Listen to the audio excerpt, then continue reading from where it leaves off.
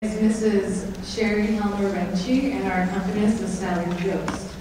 Sherry is in her 35th year of teaching high school choral music in the state of Nebraska.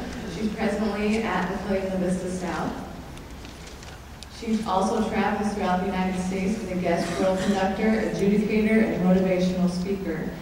Mrs. Renchi was recently inducted into the Nebraska Music Educators Hall of Fame. It's my pleasure to introduce Mrs. Sherry Helmer Renchi and Sally Jost.